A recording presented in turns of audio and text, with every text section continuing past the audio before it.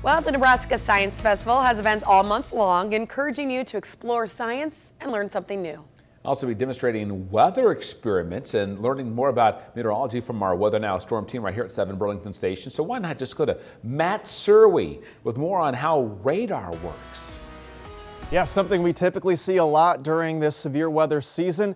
A weather radar. So how does it work? We have our radar dome here, and the radar sends out two pulses of energy, one in the horizontal, one in the vertical, and then it listens for how much of that signal is sent back when it hits something, usually rain or hail. And this whole process takes less than a thousandth of a second, so it's really, really quick. And how much signal returned and how long it takes determines the distance from the radar site and the intensity of whatever it's hitting, be it rain or hail.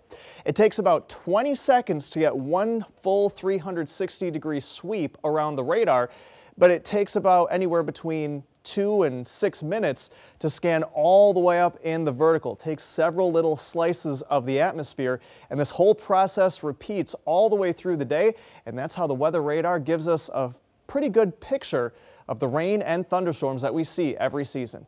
Back to you.